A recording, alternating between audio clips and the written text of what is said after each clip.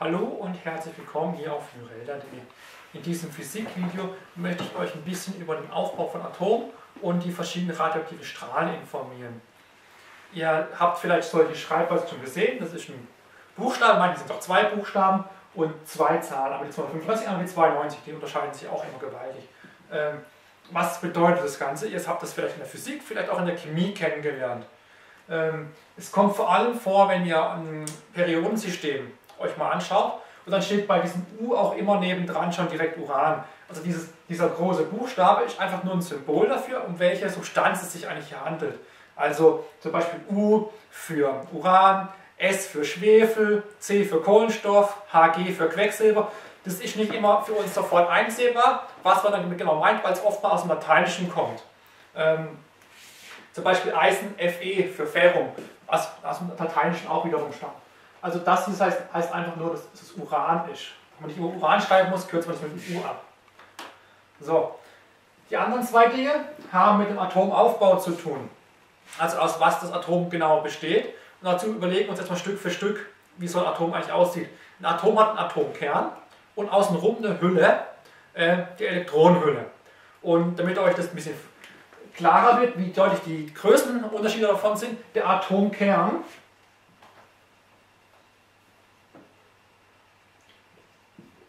hat einen Durchmesser von 10 hoch minus 12 mm.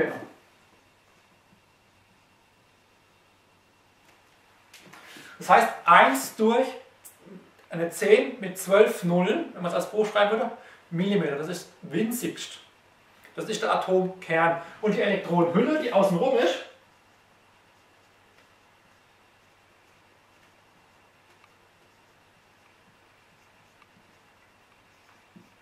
die hat einen Durchmesser von 10 hoch minus 7. Das ist zwar auch noch sehr winzig, aber ihr seht im Verhältnis, hier 10 hoch minus 12, 10 hoch minus 7, das heißt, die Zahl hat tatsächlich 5 Nullen weniger. Das heißt, um den Faktor 1 mit 5 Nullen, also um 100.000, ist tatsächlich der Atomkern kleiner als die Atomhülle. Das heißt, der Atomkern ist auch im Verhältnis zur Elektronenhülle winzigst. Da ist sehr, sehr viel Platz in Relation dazwischen.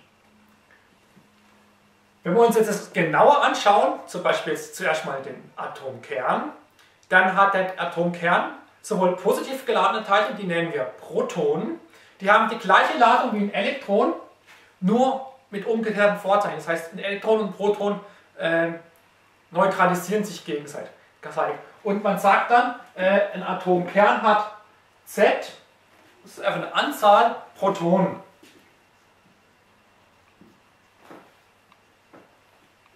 Protonen haben die gleiche Ladung wie Elektronen, aber sie sind 2000 Mal so schwer. Das heißt, die Masse ist unterschiedlich, ums 2000-fache. Ich brauche 2000 Elektronen, um ein Proton vom Gewicht her ähm, zu haben, aber die Ladung ist direkt gleich. Nur eben mit gegensätzlichen Vorzeichen. Und zu den Protonen hat man im Atomkern äh, Neutronen. Neutronen sind vollkommen neutral, haben das gleiche Gewicht etwa wie ein Proton und bilden zusammen den Atomkern. Die sorgen dafür, dass die Protonen zusammenbleiben, weil eigentlich Protonen haben alle die gleiche Ladung, die müssten sich ja abstoßen. Trotzdem sind sie auf einem sehr, sehr kleinen Gebiet in dem Atomkern vereint. Das heißt, die Neutronen binden die Protonen zusammen sozusagen. Und n ist einfach die Anzahl der Neutronen.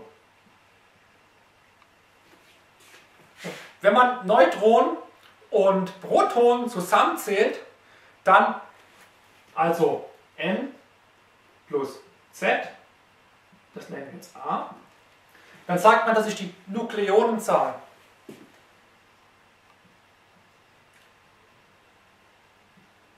Nukleonen sind einfach die Teilchen Atom, die man in dem Kern findet, also Proton und Neutron. Wir haben gesagt, die sind alle gleich schwer, das heißt, auch das ist 2000 mal so schwer wie ein Elektron. Ihr seht also, das ist alles, was in einem Atomkern ist. Trotzdem ist so gut wie die ganze Masse im Atomkern. Obwohl es ein sehr, eine sehr, sehr, kleine, äh, sehr, sehr kleines Volumen ist, wo der Atomkern sich befindet. In einem ganz kleinen Teil vom Atom befindet sich fast alle Masse, aber nicht die ganze Ladung. So, was bedeuten diese A und dieses Z? Nun, das A ist einfach diese Zahl hier oben. Diese 235. Also Uran in unserem Fall hier hat 235 Nukleonen, also sowohl Protonen als auch Neutronen fallen drunter. So, und diese 92, das ist einfach die Zahl der Protonen. Also das, was wir Z genannt haben. Diese 92 hat noch eine andere Bewandtnis. Wenn ihr euch das Periodensystem der, der Elemente anschaut, werdet ihr feststellen, dass die von links nach rechts und dann von oben nach unten steigend nach der Protonenanzahl äh, sortiert sind. Der Chemiker nennt sowas dann die Ordnungszahl. Die Ordnungszahl ist nichts anderes als die Anzahl der Protonen im Kern eines Elementes. Also diese 92. Das heißt, an 92 Stelle im Periodensystem werdet ihr Uran finden. Hier oben die 235. Warum muss man die hinschreiben? Nun, es ist so, es gibt sowas, das nennt sich Isotope. Das heißt, Uran ist nicht gleich Uran. Es gibt verschiedene Arten davon. Und das unterscheidet sich dann einfach an der Anzahl der Neutronen. Das heißt, das sind dann also 92 Protonen, heißt, es ist auf jeden Fall Uran. Aber es könnte sein, dass ein Neutron mehr oder weniger da drin ist. Da würde hier also 234 oder 236 stehen. Das wäre ein anderes Isotop von Uran.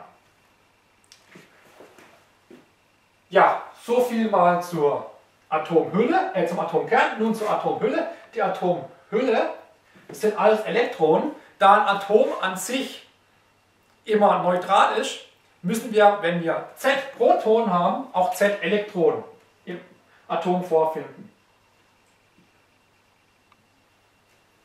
Das heißt, wir haben immer gleich viele Protonen wie Elektronen, die schwirren um den Atomkern herum, eben hier mit diesem Durchmesser und sie neutralisieren das Atom. Wenn ich jetzt ein Elektron mehr in die Atomhülle stopfe oder eins rausnehme, dann habe ich ein ionisiertes Atom. Dann ist das Atom geladen, positiv oder negativ, je nachdem, wie ich es gemacht habe. Nun noch einen kurzen Überblick zur radioaktiven Strahlung. Es gibt davon drei Typen, Alpha, Beta und Gamma-Strahlung. Die sind unterschiedlich gefährlich und unterschiedlich stark. Ähm, die Alpha-Strahlung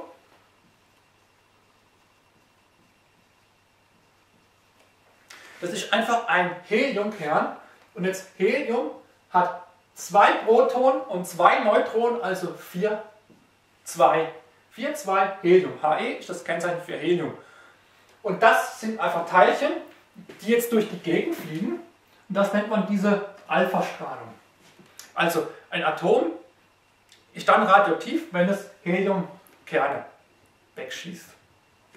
Nun, diese Heliumkerne, die werden sehr, sehr leicht aufgehalten. Also vor Alpha-Strahlung kann man sich tatsächlich mit schon einem Stück Papier schützen. Das heißt, davor ist man im Großen und Ganzen geschützt. Selbst die Klamotten, die ich anhabe, wird schon einen Großteil meines Körpers davor schützen. Die kommt auch nicht arg weit. Es gibt was Gefährlicheres, das ist die Beta-Strahlung. Die Beta-Strahlung ist einfach eine Strahlung, von Elektronen. Elektronen. Also hier werden einfach Elektronen in der Gegend herumgeschossen, wie vor Heliumkerne. Das ist schon ein bisschen gefährlicher. Davor kann man sich aber auch noch recht gut schützen. Man braucht nur etwas so 5 mm Aluminium in etwa schützen ein. Oder wenn man ein äh, festeres Metall hat, wie Blei, reicht schon weniger. Und dann gibt es die gefährlichste Art, das ist die Gammastrahlung. Und die Gammastrahlung ist so ähnlich wie Licht oder Röntgenstrahlung, Energiestrahlung. Also äh, ähnlich wie Licht.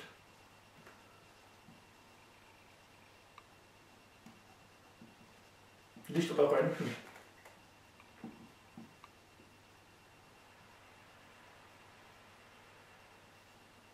Hier wird es dann schon gefährlicher. Hier braucht ihr wirklich schon sehr, sehr dicke Bleiplatten, um die Strahlung einigermaßen abzuschwächen, damit es euch nicht mehr schaden kann. Ähm, wenn ein Stoff radioaktiv strahlt, dann baut er sich ab.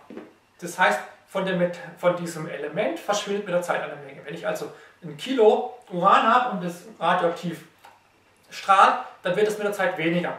Und das nennt man dann eine Halbwertszeit und die Halbwertszeit soll einfach charakterisieren, wann etwa nur noch die Hälfte einer radioaktiven Substanz da ist. Das gibt man an, weil die eigentlich für das ähm, Element sehr, sehr typisch ist.